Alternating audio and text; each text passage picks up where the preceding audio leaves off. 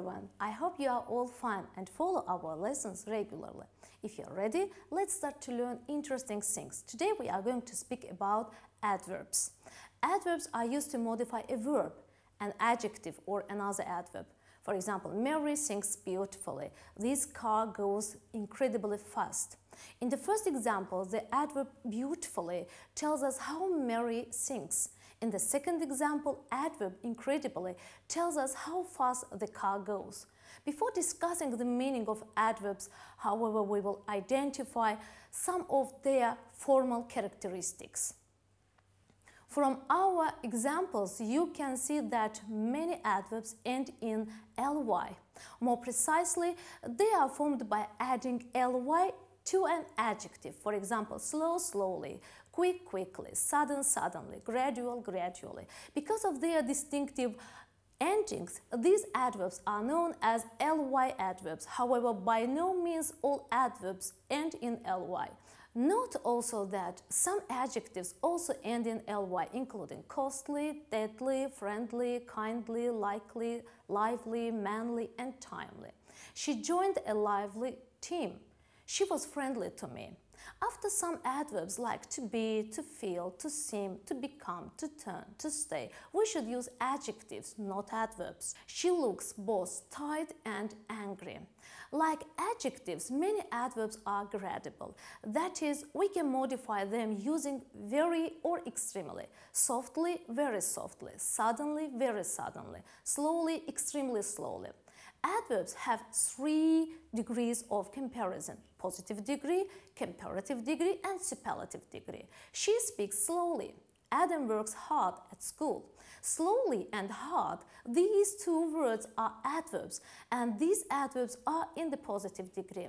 Comparative adverbs express a higher or lower degree of how an action is performed, usually in comparison to another person or thing superlative adverbs used to identify the highest or lowest degree of how an action is performed.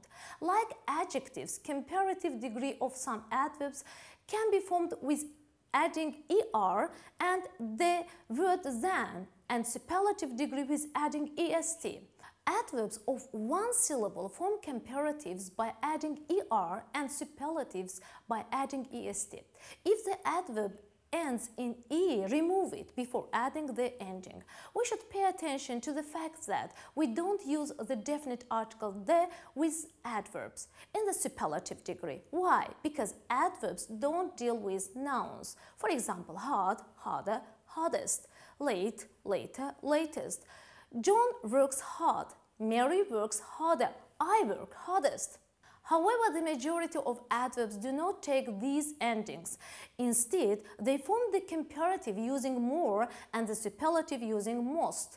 Recently, more recently, most recently, effectively, more effectively, most effectively. Samantha finished the work quickly. She began to speak more quickly. She came most quickly of all. In the information of comparatives and superlatives, some adverbs are irregular. Let's pay attention. Well, better, best. Badly, worse, worst. Little, less, least. Much, more, most. Paul speaks English well. The eagle can see better than you think. His knees hurt worst. The following words uh, together with their comparative and superlative forms can be both adverbs and adjectives. Early, far, fast, hard, late, long, low, little, much. The following sentences illustrate two uses of early. I will catch the early train. In this sentence, early is an adjective. I woke early this morning. In this sentence, early is an adverb. We use as plus adverb plus as to make comparisons when the things comparing are equal in some way. You have to unwrap as carefully as you can. It is quite fragile. Carefully is an adverb here. We use not as plus adverb plus as to make comparisons between things which are not equal. She is not singing as loudly as she can. We can also use not so plus adjective or adverb plus as. This is less common than not as plus adjective or adverb plus as. They didn't play so well as they usually do. Now, dear friends, let's do an exercise. Write the correct form of the adverbs. Let's do this exercise together.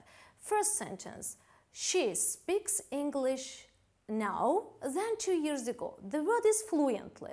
So, the correct answer is yes, you're quite right, more fluently. Uh, she speaks English more fluently now uh, than two years ago.